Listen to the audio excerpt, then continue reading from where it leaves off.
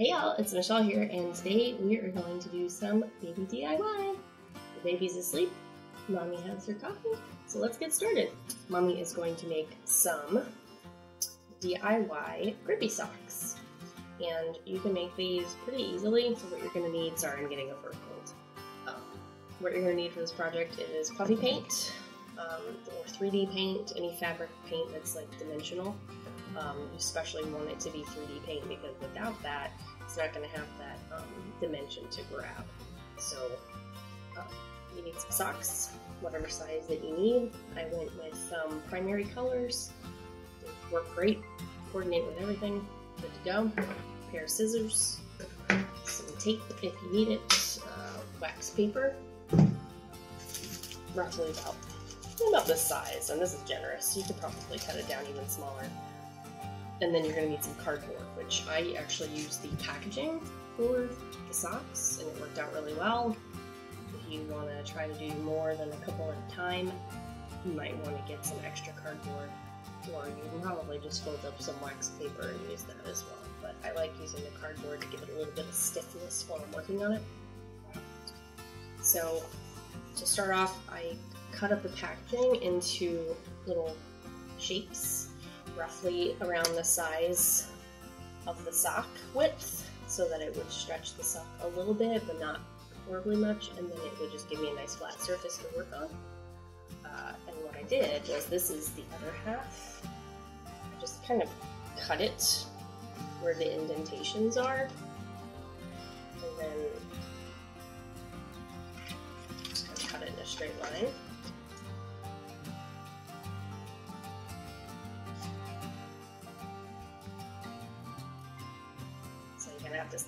Shape here, and then I just cut this at an angle point. And now I have two pieces that are roughly the same width and roughly the same length.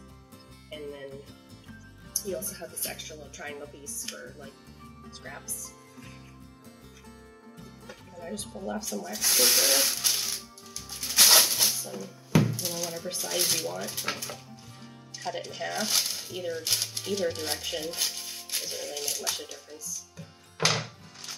And then I just take the wax paper, fold it over the top a little bit, and then fold it around the back so that you just kind of have this little shape. You don't need any tape, but you can tape it if you want. Um, set that aside. Now to get the socks in the right direction, you need to pull the seams apart so that they kind of are resembling the shape that they would be on the foot, like this.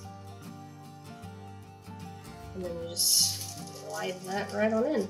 I like to have like a nice flat side. That's what I'm working on, and then the folded pieces go in the back. Right on in there.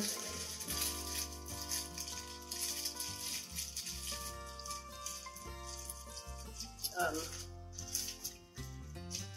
you want to kind of push it to the end. And then this is also a good time to make sure that you're kind of lined up on the toe seam.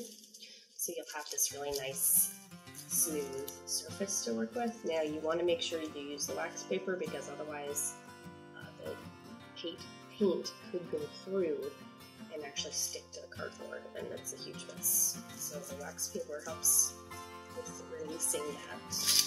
Now, these socks really are super handy for when your toddler or baby is starting to really walk good, but they're not really like sure about their footing.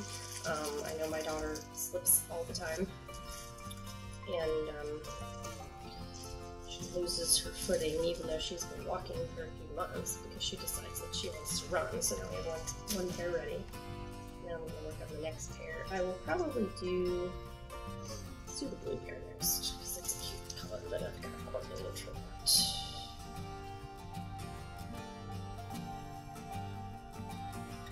And it, you know, it may help if you want to get all your socks ready first, putting them up and getting them in the right direction. Uh, however you want to do it really, fine. Sorry if I'm not horribly loud. Like I said, I have a cold and I'm trying not to wake up the baby because she has a cold. Hooray! Everybody's miserable in the house. This is short answer. But um, I like to take my daughter to a indoor playground, which is a socks only facility, so they can only wear socks, they can't wear shoes, and they can't be barefoot. The problem with that is, is that most of the areas where they play have um, like rubber mats, which are really nice, but then they have a small area where there's just like tables for sitting and eating, and it's just like linoleum over there. So when she's in just regular socks, she gets running over there and she starts sliding, and she's gonna end up losing her balance. But uh, you can't really find grippy socks anywhere. Not at least like with the whole foot covered. Um, so I just got this is a ten pack of like Garanimal socks from Walmart. I think I paid like four dollars for them, five dollars maybe.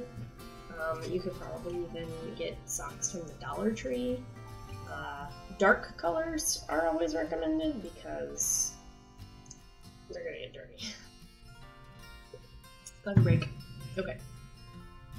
Um, I would recommend anytime you do any kind of crafting to get some wax paper.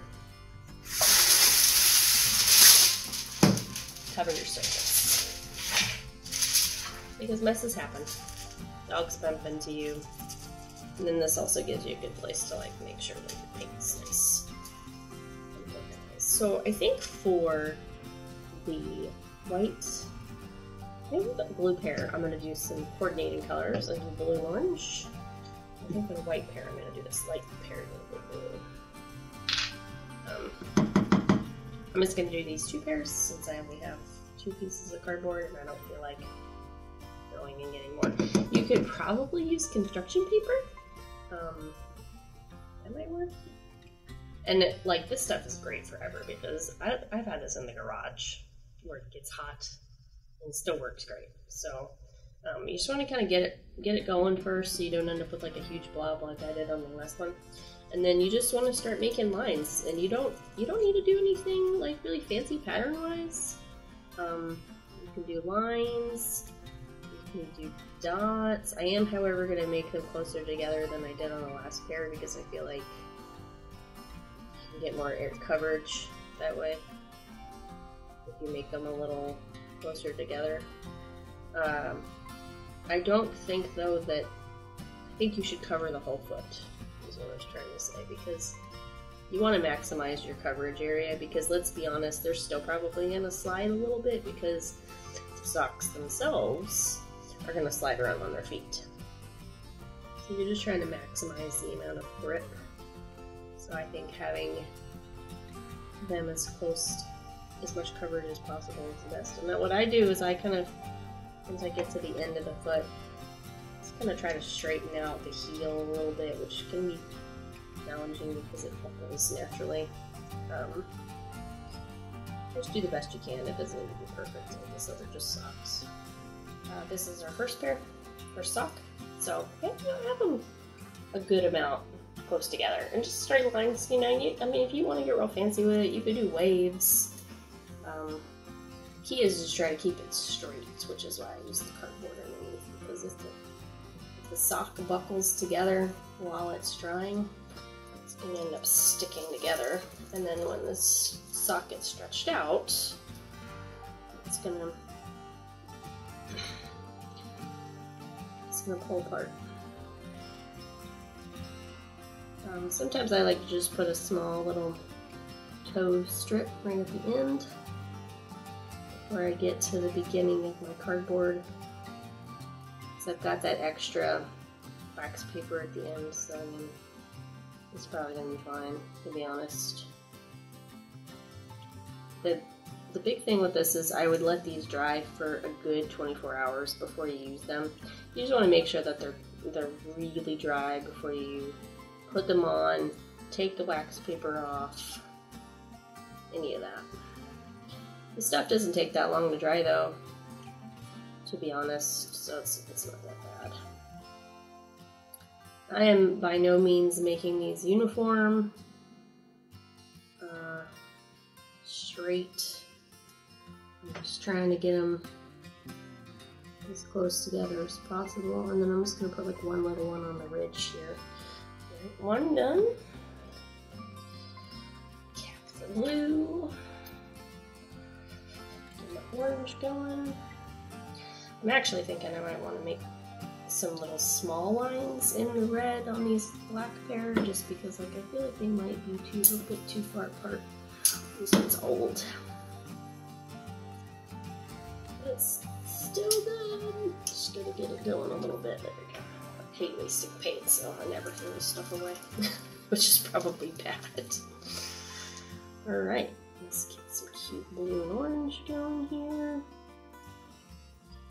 This is definitely a little harder squeeze because it's getting old. It's probably time to throw this one away and get a fresh orange. So where do you get puffy paint? Well, you can honestly get this from anywhere, just about. Um, these are going to slanted a little bit because I'm not looking it straight, apparently. Uh, Walmart has this puffy paint, Hobby Lobby, Joann's, Target, um, really like any store probably that's going to have craft supplies as far as like paint, um, especially if they have like a, a fabric decorating section, because this is technically like fabric paint. Um, they're going to have this stuff. And it's usually pretty cheap with it. Um, these, this also works really great on shoes as well. Um, I've noticed that some of these slippers from Walmart tend to not have very good grips on them. Even like at my pediatrician's office, some of the little sandals, even with the ridges on the soles, they still don't really grip very well. So I've actually done this on her shoes. I do this on her house slippers, especially, because they're real slick on the bottom. And um, I've noticed a huge difference. And you can wash this once it's good and dry. I would give it at least a couple days before you actually put it through the wash. You can dry it. Um, or you can just, you know, if it seems like it's picked up a lot of dirt, you can just wipe it off with a wipey, wet, wet washcloth, whatever, whatever you got, and clean off. So here we go. We got our blue and orange, nice coordinating colors there and they're white and periwinkle blue or light blue or whatever. Yeah, that's pretty much it. And I'll let these um I'll let these sit and dry. These are gonna be really great. So just give you an idea. And her little foot's in there. I mean, it's it stretches really well. It doesn't it doesn't break. It probably will over time, but I mean, this wasn't a permanent solution. This is just to help help with the grip so that she can play. And this dark pair is going to be perfect because it's going to get filthy and you'll never know. Um, but yeah, I put I put them on her shoes too. Put them on her house slippers, and I've noticed a huge difference. You can actually hear the paint gripping the floor. It hasn't fallen off, and it's uh, a great way to make sure that your baby is safe. So this is our craft for today. Uh, let me know if you try it out, how it worked out for you. Did it help your baby with walking, learning to walk, um, keeping their little toesies warm in the winter? But um, so thank you for coming and watching, and I'm looking forward to making more videos. Um, I've got a bunch of content lined up now that hopefully the house is on the mend from this cold. Uh, um, got some product reviews we're going to be doing, some more uh, baby DIY, some mom hacks. I've got some newborn must-haves, baby must-haves, uh, a lot of a lot of useful information. And I know, like as first-time moms, um, experience is golden. So I think we'll close out from there. And as my closer, I'd like to be the uplifting mom today because I think it's important for us to encourage each other instead of bringing each other down because being a mom is hard enough. So we don't need that. We don't need that kind of drama. And this goes for moms and dads. If no one else has told you this today, you are doing an excellent job as a parent. And you know what? You're enough. You're enough. You don't need to be anything more than you are. You are doing an excellent job. Thanks for stopping by, and I'll see y'all later.